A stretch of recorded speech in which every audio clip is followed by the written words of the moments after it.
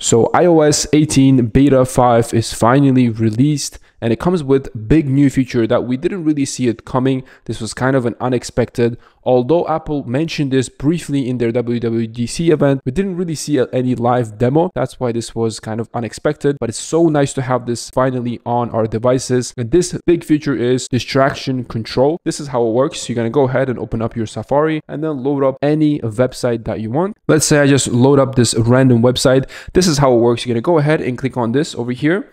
And now there is an option in the Safari when you click on this button on the bottom left corner, it says hide distracting items. If you click on it, this is how it works. So you can literally remove anything that you don't want. For example, this one, I can remove it from my screen and it's gonna just quickly disappear with that nice little smooth animation. And this is really nice, especially for those pop-ups that pop up on the website that distracts you or even these ads right here i can just quickly remove it. Although this is not meant to be ad blocker because these ads are still running in the background it's not completely stopping them or you know removing them completely because if you refresh them they're going to come up again. But it's just nice to have this function where you can just focus on what you need to focus on prioritize what's important. It's just really nice feature. But moving on guys the next feature is the photos app. Photos app sees some modification. This is a nice modification based on user feedback. You know how on the previous Photos app, on the previous beta 4 Photos application, you could just swipe to the right and then access your photo library. This is no longer an option. Now, this is just still, just like how on the iOS 17, it's just really clean. You don't have to just swipe. This was very confusing for many people. It was kind of a hidden feature. So many people didn't even know that it existed and it was just not practical. So it's good that Apple removed this from this place. Another thing is that recently saved is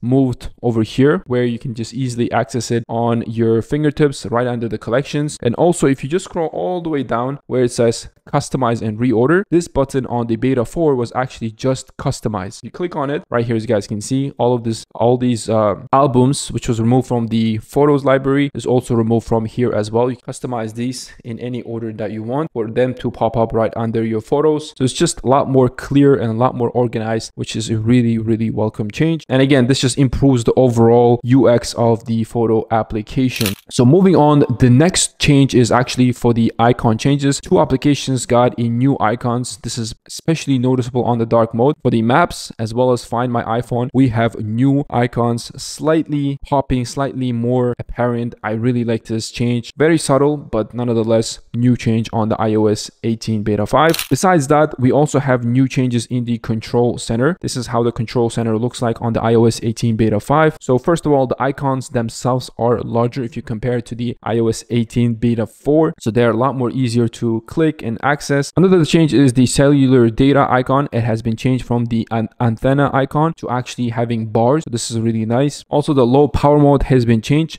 Previously, it was a half full battery. Now it is a almost low battery, which makes sense. A lot more visually appealing as well to the eye. And many more minor changes have been uh, applied in the control center. I'm not going to bore you guys with too much of information. You guys can go through this. A lot of visual changes, which is really, really nice. And besides that, last but not least, we have e edit pages. When you just go ahead and hold your screen and activate jiggle mode, you actually have, if you click on the edit, you have a new option that says edit pages. Right here, if you just click on it, boom, you can just have easy access to your different pages. You can easily uncheck them or, you know, remove them completely by clicking on here. You can delete them if you like, just like so. Just a lot easier. Previously, the way you could access this was actually activate jiggle mode and then click on this three dot icon.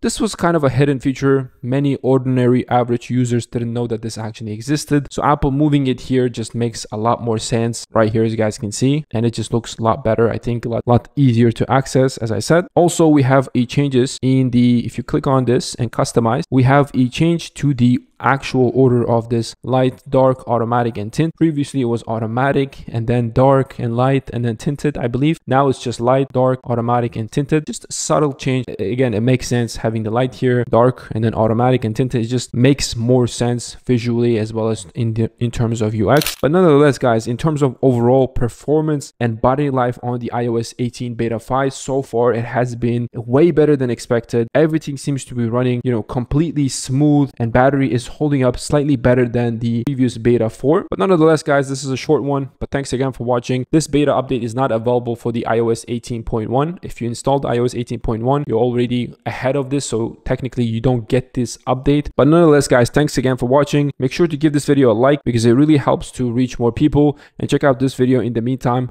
I'll catch you guys next video. Peace out.